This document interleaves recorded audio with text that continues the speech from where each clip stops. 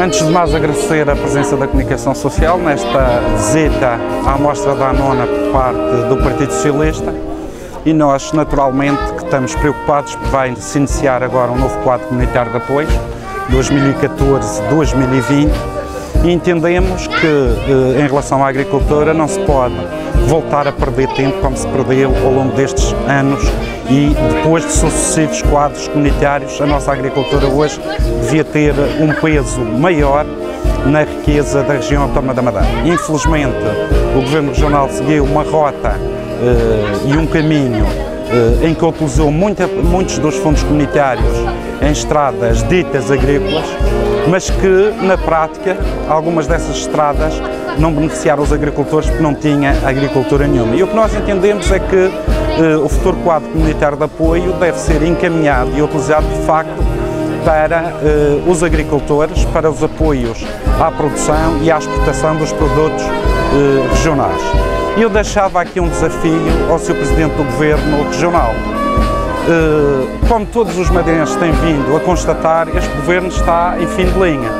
Este Governo já deu o que tinha a dar à Madeira e ao Porto Santo. E a partir de 2015 haverá um governo novo, haverá uma mudança de governo e nós temos hoje a convicção que o PSD irá liderar a oposição na região autónoma da Madeira.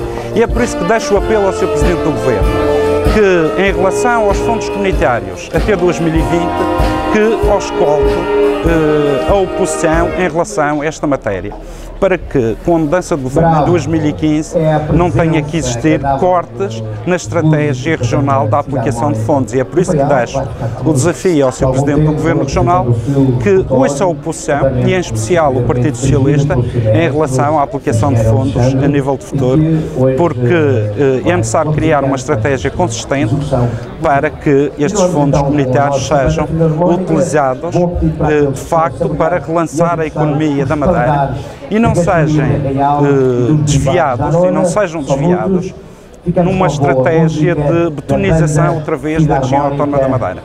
É por isso que deixamos este desafio, queremos que o Sr. Presidente do Governo ouça os partidos da oposição e em especial o Partido Socialista porque estes 844 milhões de euros são muito, muito importantes para relançar a economia da Madeira e não pode uh, existir uma interrupção de estratégia a partir de 2016, porque isto prejudicaria a região autónoma da Madeira. E, portanto, se o Presidente do Governo que está em final de mandato devia uh, patrocinar uma auscultação a todos os partidos da oposição no sentido de existir aqui uma coordenação a longo prazo da aplicação dos fundos comunitários.